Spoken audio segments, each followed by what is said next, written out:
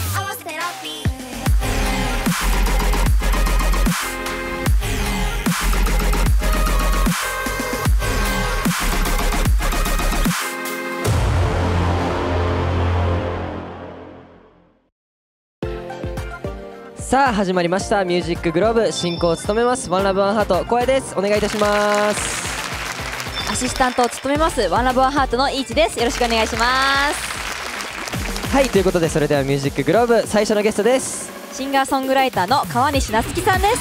川西夏樹です。よろしくお願いします。お願いしますはいということで川西さんが所属されている事務所はあのキャリーパミュパミュさんも所属する遊びシステムなんですよね。そうなんです初コラボということですね。ありがとうございます、お願いします。事務所に所属した経緯とかってあどんな感じそうですね。去年から、うん。一応大阪私奈良出身なんですけど大阪の事務所の方には所属させていただいてて、で大学卒業のタイミングで東京来やんかみたいな話いただいて東京の事務所の方に所属したって感じになってます。おおめちゃくちゃ関西弁。ね。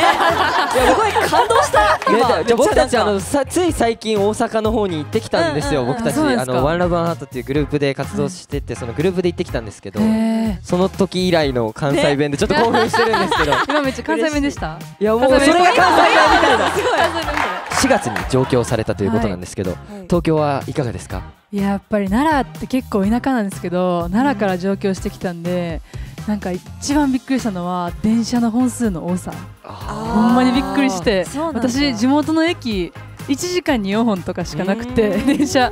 でも今原宿とかやったらもう4分に1本とか来るじゃないですか。2分に1本。確かに。それがめっちゃ一番びっくりしたことですかね。であとは私ほんまに2年間ずっとパーマで活動してて本当に音楽始めて SNS バズった時もずっとパーマやったんでそれをねこうストレートにするっていうあの変化がありましたね東京来て。からやっぱ東京に来るとやっぱ変わるんですか？あそうそうかもしれないですね 新時代めっちゃむずない？オッケーじゃあ1番だけ歌おう。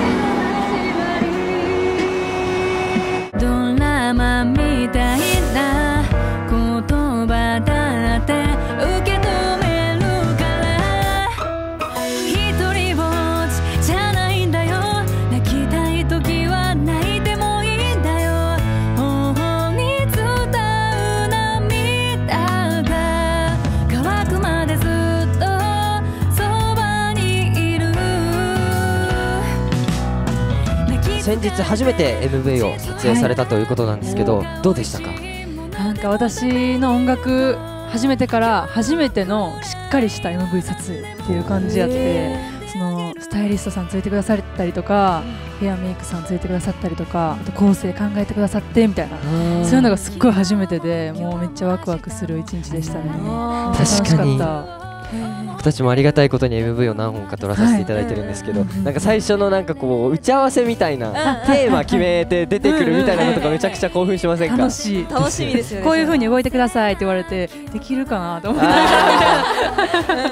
なんかちょっと演技するとかなんか犬と戯れるとかやってほしいって言われて私犬と戯れたことなくて。えできるかなって思ったんですけどなんかワンちゃんのおかげでできました。助けられましたワンちゃんにこの番組ではゲストの皆さんに世界で活躍するためのお話をお聞きしてるんですけどあの川西さんが取り組んでいることがあれば何か教えてほしいです。SNS がほんまに海外の方にも見てもらえるコンテンツやなっていうふうに思ってるから YouTube ショーツとか TikTok とかなんかそういう縦動画のやつはちょっと1年前ぐらいから力入れてあげるようにしてますなんかそのこだわりとかあったりするんですか？えなんか弾き語りって結構ありきたりな感じじゃないですか。なんか結構みんな弾き語り載せてる人多いと思うんですけど、なんか私らしさ出したいなと思って弾き語る前にちょっと喋ってから弾き語るみたいな。こういうあるあるありますよねみたいな。喋ってから弾き語るみたいなバックナンバーさんの「もう終電に間に合うように送るようなヘマはしない」って歌詞にキュンってした人絶対いる説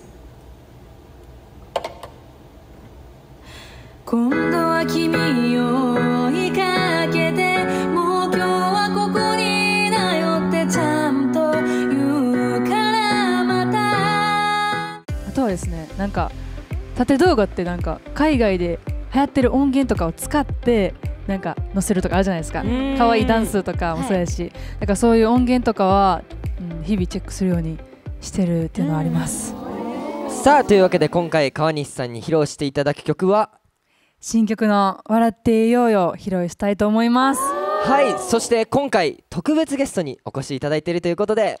8月7日よりプリ小説公式 SNS にて配信中のショートドラマ「結城深夜は夜暴く」殺人遺族カウンセラーの秘密と闇監督の吉川啓太さんです。よろしくお願いします。吉川啓太と申します。監督させていただきました。よろしくお願いしますはい、えーこのドラマの主題歌を川西さんが担当されているんですよね。はいそうなんですよ、この曲はこのドラマのために書き下ろした曲となってます。はいそしてこのドラマの配信元プリ小説なんですけど登場人物の名前を自分の名前や好きな名前に変えて読める新感覚の会話で楽しむ無料のスマホ小説サービスです。2023年の3月時点で利用者数は289万人を超えているということなのですはいもう大人気の小説アプリということですが 吉川さん今回のドラマに至った経緯というのは？ダークヒーローをテーマに俳優の曽田陵介さんを主人公にしたショートドラマとあとアニメーションがあるんですけどそれの原案を募集するコンテストがありましてその応募総数が全部で132作品。の中からグランプリに輝いた作品を今回僕が実写化させていただいたという形になります。ごいグランプリ。そのドラマの見どころっていうのは？どういうところなんです。かなんかもうお三方の演技がもうもちろんうまいこともなんですけどその現場で生まれたものとかを一緒に話し合ったりしながらリアルな感じっていうのとかあと小道具とか美術とかにも注目していただけたらと思います。初めて曲を聴いた時の印象というのはどうだったんですか？印象なんかどうでした？僕が言っていいのかわからないんですけど、はい。はい一つ一つの歌詞から物語がすごい見えてきてあなんか視点が変わる感じとか。本当ですか？なんか MV どうやって撮ろうってすごい迷いながらワクワクしてました。ありがとうございます。あ MV の方も吉川監督が撮ってくれたってことそうです。はい。ドラマのメインの主人公の部屋があってそこで撮ったりしています。はいということでえーここで川西さんに「笑っていようよ」を披露してもらいたいと思います。バズらせたいポイントは？うん、歌詞でジェットコースター乗りに行こうよとかなんか美味しいもん食べに行こうよとか結構普段でも使うような会話が散りばめられてて私関西人なんですけど、はい。忘れられへんっていうようなうん。関西弁とかも入ってて私が実際にね友達に話したような言葉も入ってる歌詞なんで同世代の方とか共感してもらえていっぱい聞いてもらえたら嬉しいなっていうふうに思ってます。あとはですね私ピアノ弾き語りもさせていただくんですけどなんか今回の曲はテンポ感とか歌詞のストレートな部分とかが弾き語りにマッチする楽曲やなっていうふうに思ってるんでぜひ皆さんにもね弾き語りトライしてもらいたいなっていうふうに思ってます。それではバズりポイントにも注目しながらライブパフォーマンスをご覧ください。川西夏樹さんで笑っていようよです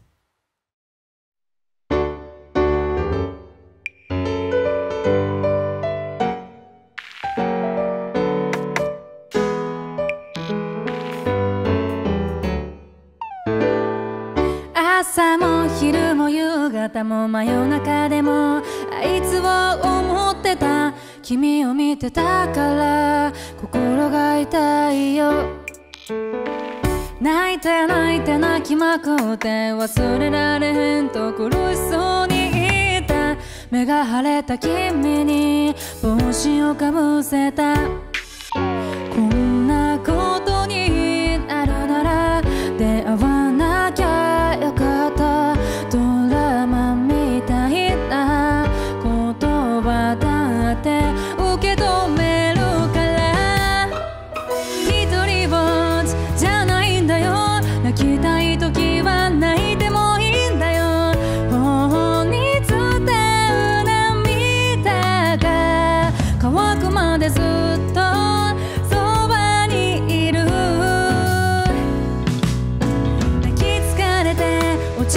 たらなんか美味しいものでも食べに行こう。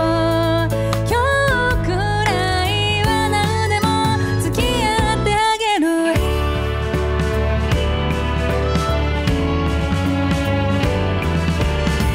昨日も今日も明日も明後日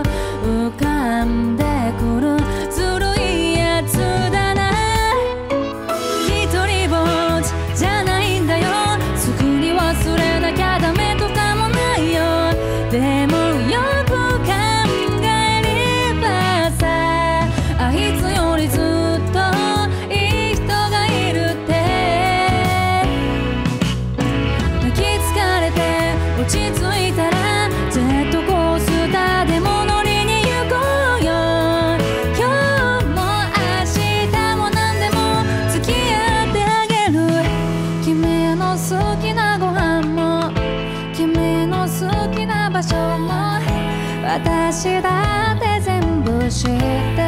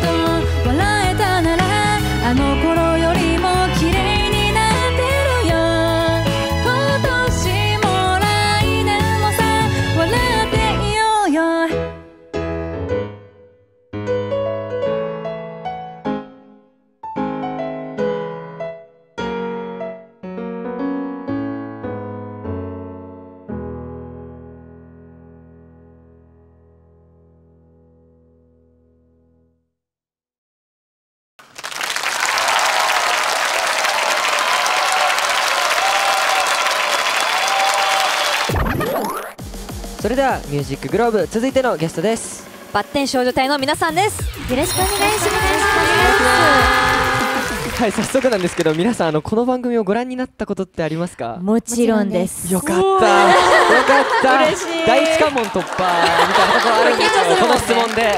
なんかライブパートでは結構こうアーティストさんの可愛いところがたくさん見られたりもしてなのでいつも楽しませてもらってます。そう。エンディング要請もそうなんですよ、はい。パフォーマンスの後にこういはい。ろんなアーティストさんにやってもらってるんですけど、なんか今日どういうやつやろうかなとか考えてたりするんですか？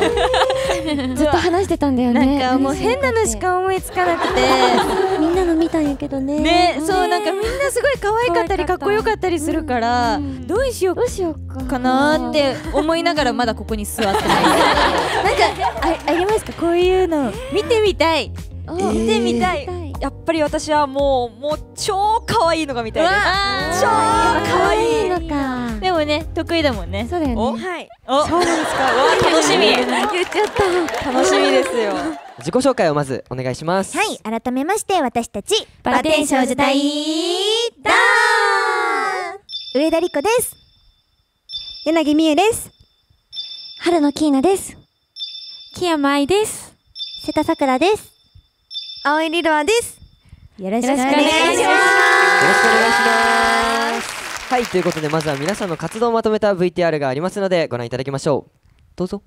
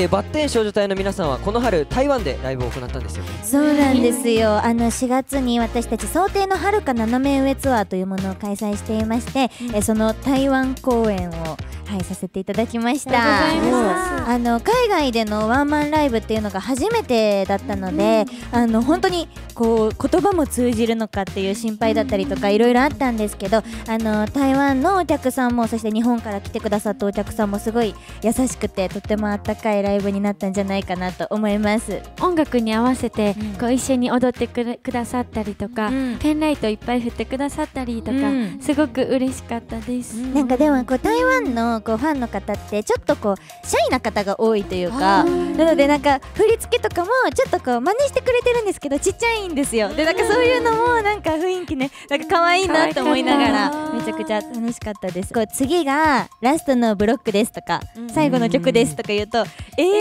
て言ってくださるんですよ。でそれなんかめっちゃ日本と同じ文化だと思って嬉しくなりましたはいそして7月にリリースした「あんた方どこさ甘口醤油仕立て」の MV を変わったところで撮ったとお聞きしたんですけど、そうですね。そうね、今回大分県で撮影をしたんですが醤油工場をお借りしてその工場の樽の前とかを使って撮影をさせていただきました。これ醤油工場ですね。あの後ろに工場長がたまに映るんですよそうなんねですよ次もはい工場長出てきます。醤油持ってます。はい醤油持っててあ左手に。あいた。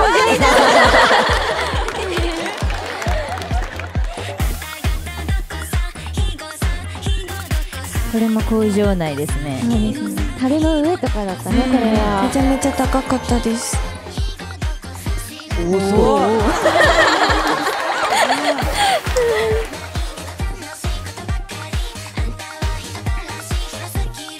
すごい。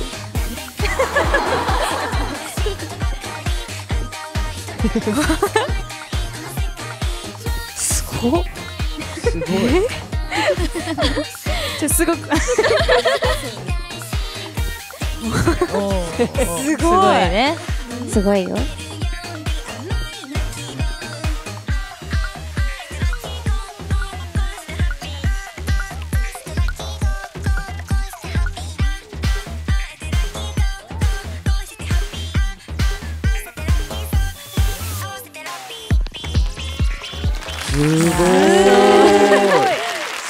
工場で撮影しました。その回ってたのたくさん回ってたと思うんですけど いろんな方が。そうですね。もう本人自ら回った感じですか？あどうなんですか？これはちょっといろいろありまして、い。ろいろあったよね。はい、醤油の魔法ってこう魔法でこう回っちゃった感じ。なるほど。魔法だ。そうなんですよ なのでお二人も多分醤油の魔法にかかったら結構あれくらいぐるぐるぐる。そうね俺らじゃ無理だなって思ってたけ後半はさらに巨大化までしちゃうので私たちが。はいこれもね醤油の魔法にかかってるので、結構結構大きめなんですよ。どあの山の近くなんかねいたちっちゃい人が工場長とかではないです。誰なんですかね 今はまた戻ったんですけど。戻ってきます。魔法に溶けて。あそんなことありますか？あんた方どこさ？私はないかもしれないです。ありますか浩平さんでももう超ここんくらいの時に。ちっちゃい。やったことある夜でちっちゃいじゃないですかあんた方どこさのこうさの時に足の下をボールくぐらせるっていう遊びがあって私たちも結構九州だからなのかな？よくやってたよね。なんか授業とかでもやったりしてたんですけどそれをちょっと踏まえてというか実際にあの足の下通らせてます。ということでこの番組では、えっと、ゲストの皆さんにあの世界で活躍するためのお話をお聞きしてるんですけど、はい。あのグループとして取り組んでることがあれば何か教えてください。そうですね。私たちバッテン少女隊はそれこそあの YouTube にミュージックビデオがどんどん載っていくんですけどその歌詞の字幕が割とあのいろんな言語にこそう変換できるようになっていまして、うん。なのでいろんな国の方からミュージックビデオのコメント欄にコメントが来たりとかしてますね。どの国からのコメントが多かったりするんですか？わあでもなんかこれ面白いのが結構ミュージックビデオごとにもまた違ってそうなんです。あの南アメリカの方の方から来たりとかかと思ったらこうヨーロッパの方が多かったりとか。そうなんですよ。なのですごいなんかそのなんていうんですか地域に刺さるミュージックビデオなのかなと思いながら楽しんでます私たちも。あとあの私たち7月にあのジャパンエキスポパリに出演させていただいてフランスの方に行ってきたんですけどあのそこでちょっとフランス語でね、挨拶も。そうだね、覚えていたはい、ね。させていただきましたね、ちょっとまめちゃくちゃ簡単なのでハードルもう激。めっちゃ低くしてもらってる大丈夫はい。ボンジュール、ジューシー、みゆやなぎ。イエーイ。ぐらいなんですけど、はい、ちょこっとだけ皆さんの前で挨拶させていただきました。パリってどうでした？観光とかされたんですか？あ、リラちゃん。はいあのすごいリラエッフェル塔を生で見たくてあの行くよってなった時にそれが夢だったんですけど本当に見たら大きくてすごいなんかそれまではなんかいる時間はすごくあんまなちょっとしかなかったんですけど、あ来たんだって思ってすごく嬉しくなりました。うわーすげえパリね行ってみたいね。俺らもボンジュールしたいねボンジュールしたいね。でも本当街もすごいこうおしゃれというかもう本当に映像とかで見てたまんまの世界観でねすごい綺麗だったね。はいというわけで今回バッテン少女隊の皆さんには2曲ライブパフォーマンスを披露していただくんですけど、1曲目は？はい、1曲目はあんた方どこさ甘口醤油仕立てを披露したいと思います。はい、7月28日にリリースした新曲なんですけどやっぱりあのあんた方どこさっていうのはこう歌詞にこう熊本とかが入ってたりとかして九州感もあるかなと思いますしあと先ほども言ったんですけどあんた方どこさって本当にこう昔から伝わる民謡というか童謡であの誰が作ったのかっていうのも全く分かってない楽曲なんですけど、あのこうやってたくさんの方に知られてるので、あのこれをさらに私たちがポップにして、甘口醤油仕立てにして、えーさらに幅広い年代の方にあの広められたらいいなと思います。じゃあそんな曲のバズらせたいポイントとかってありますか？今回 TikTok 用にローカルカンピオーネさんに可愛らしく振り付けをしていただいたのでぜひそれを見て一緒に踊っていただけたらなと思いますあとあの間に「ああ会えてラッキー高校恋せてハッピー」ってところがあるんですけど、そこもすごい皆さん真似しやすい振り付けでさらに可愛い振り付けになっているのでそこにも注目して見ていただけたらなと思います。それでは皆さんのバズりポイントにも注目しながらライブパフォーマンスをご覧ください。バッテン少女隊であんた方どこさ甘口醤油仕立てです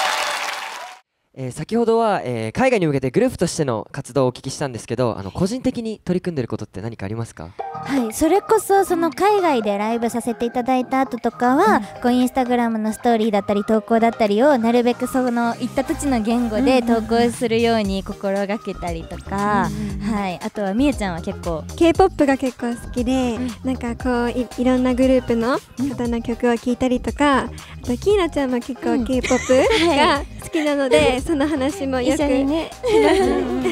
いやいちも K-POP 好きだもんね結構。おそうですね。聞くのはよく聞くかもしれない結構。おじゃあちょっと今話さなくていい？お ちょっとあどのグループが好きとかってあったりするんですか？私はアイブさんが一番好きです、わかりますよ。本当ですか？わかりますよ。素敵ですよね。私はあのエスパーさんが好きで、そうなんですよ。曲調とかがすごく好みでよく聞いています。はい。たどたどしい。はいということでここからはこんな企画をお届けしたいと思いますはい。褒め合い30セカンはい、えーこちらに皆さんの名前が書かれたカードがあります。大体30秒間。大体30秒間まあちょっとそこはあのちょっとあのフィーリングでやらせてもらってるんですけど、お互いのいいところを褒め合ってもらいます。褒め合い。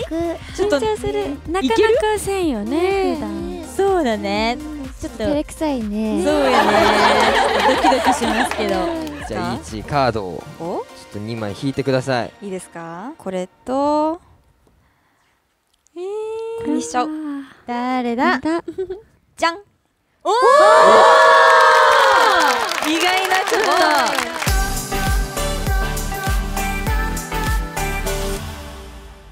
さあ準備の方はいいですか？はい。オッケーです。頑張ります。それでは褒め合いタイムスタート。トークがうまい。ありがとうございます。えー。やばいこれ。えー、ビジュ悪い時がない。ありがとうございます。ええっとめっちゃ陽キャやけどアニメも詳しい。アニメも詳しい。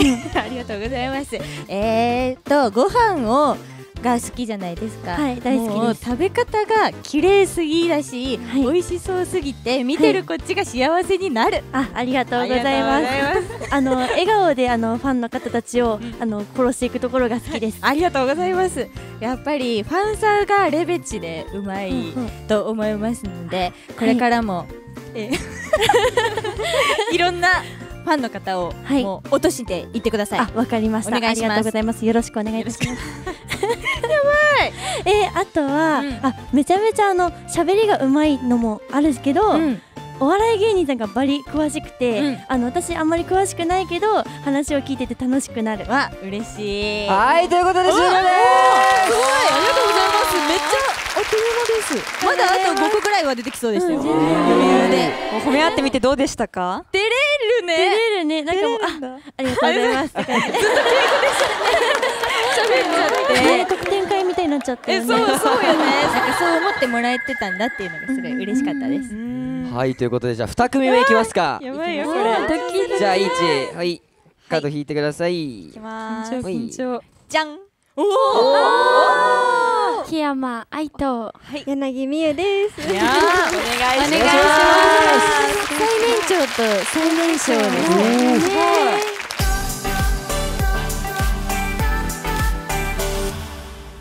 それでは褒め合いタイムスタート。はい、愛ちゃんはとってもダンスがうまい。ありがとう みゆちゃんは表現力がすごくてあと表情とかもいつもすごいなって見てます嬉しい、ありがとうございます。あと愛ちゃんすごい肌が白くて羨ましいです。いやいやいやみゆちゃんはあの最年少やけどこうみんなにズバッと突っ込んでくれるところが すごい好きです本当です。ありがとうございます。愛ちゃんはいつも周りにいる人を笑わせてくれて 一緒にいてすごく楽しいです。ありがとうあのなんだろうふとした時になんかあみゆちゃんすごい優しい子だなって思う瞬間がいっぱいある、嬉しい。愛ちゃんも本当にいつも優しくて大好きです。ありがとう。はいもうみゆちゃん大好きよ。はい終了です。かわい。い。超かわい。いかわいいわ。ありがとうえー、褒め合ってみていかがでしたか？えもう恥ずかしいです。恥ずかしい。なんかあそうなんやね。はい。言うのは簡単だけどこう言われる言うところはいっぱいあるけどあるけどね。言われるのはちょっと恥ずかしいなって思います、褒め合ってる感じ見てなんかその仲良しな感じがすごい伝わってくる。嬉しかった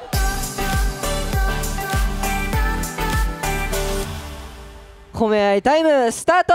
えーリラちゃんはいつも明るくって朝早くってもずっと元気でずっと喋りよってみんなを明るくしてくれててありがとう。ありがとうございます。えっときなちゃんはなんかいつもすごい優しくてなんか移動中とかもたくさんおしゃべりしたらうんうんって聞いてくれてすごい嬉しいです。そうリラちゃん移動中もいつも起きとってでなんか横におったら楽しい話いつもしてくれるけんもう移動も一瞬で終わって楽しいね。はい。ありがとうございます。えー、あとはなんかそのお話の時になんかあのなんやろ。なんかなんか間がなんか少ない気がして嬉しい。で す話題してで喋るのすごい嬉しいから嬉しくなってます。本当私は本当聞くのが逆に好きだからいっぱい喋ってくれて嬉しいよ。あとはもうダンスは抜群に可愛くって可愛い角度とかはいつもリラちゃんを見て勉強させてもらってます。いやーありがとうございます。あのきなちゃんはすごい笑った時のこのニコってなるのがすごい好きで、ああこれではいなのでいつも可愛いなって思ってます。ありがとう。はいということで終了です可愛いしか出てこない。本当に可愛い。最後の方なんか感謝の試合になってまあでも褒めた上でやっぱ感謝。をはい。ね。ね。それではバッテン少女隊続いてのライブパフォーマンスです。2曲目ははい2曲目は「おいさ」という曲を披露したいと思います。はいあのやっぱりバッテン少女隊をこの曲をきっかけに知ってくださった方も多いんじゃないかなと思うので、このスタジオで披露させていただきたいと思いますはい、えー、そんなおいさのバズらせたいポイントは何ですか？そうですね。この「おいさ」っていうのが博多祇園山笠っていう大きなお祭りがあるんですけどその掛け声で使われているフレーズでそれをちょっと楽曲にしているので、あのずっと「おいさ おいさおいさ」って言っても一回聞いたら多分頭から離れないと思うんですけどあのそれが結構有線の方でこう流れてあのたくさんの方の耳に届いたみたいであの結構 YouTube もすごいありがたいことに490万回くらい再生いただいているんですけどそのコメント欄がなんかちょっと大喜利チックになってるというか あの空耳がね結構多いみたいでまずこの「おいさん」の部分だとそれこそなんか「おっさん」とかに聞こえたみたいな。おっさんおっさん言ってる曲これだったのかみたいな。なかなかそういうね、あの方もいらっしゃったりあとさくらが歌ってるところで「うん。あ満身創痍だ満身創痍だ」そうっていうこの「満身創痍だ」っていう言ってるんですけど、これがなんかマジゴリラ？マジゴリラだ。マジゴリラ。そうマジゴリラって検索したらおいさんのミュージックビデオ出てくる時あって今も出てくんのかな、やってみたいね。結構なあの空耳が生まれてました。でもさっきねスーッと言っちゃったんですけどね490万ってあのえげつない数字が、ね、出てきてなんかあのおーはいはいはいって言ってたんですけどなんか後からまあ490万。しかあの僕沖縄に住んでたんですけど、あの沖縄でもあの美味しさ聞こえてきて、普通にあのショッピングセンターとかでご飯食べてたら、はい。聞こえてきてだからえめちゃくちゃもう耳に残っちゃうフレーズで。でそれずっとこう店とかで流れててもやっぱりこうだから帰る時にはなんかもう覚えてるみたいな。ご飯食べてる時ずっと流れててみたいなこともあったんで。ああと振り付けもあの実際にこう山笠でこうおいさおいさってこう鉄砲っていうのを持ってこうやってしてるんですけど、その振り付けが入っていたりとかもするのであと最後にはね博多手一本って言ってあの私たちこう普通一本締めだと思うんですけど博多の方は「よーおファンファンもう一つファンファンよーてサンドタタンタタン」ってこう3回やるんですよね。これが最後の方に入っているのでそこでもちょっと福岡感を味わっていただけるんじゃないかなと思います。はい。それではバズりポイントにも注目しながらライブパフォーマンスをご覧ください。バッテン少女隊でおいさです「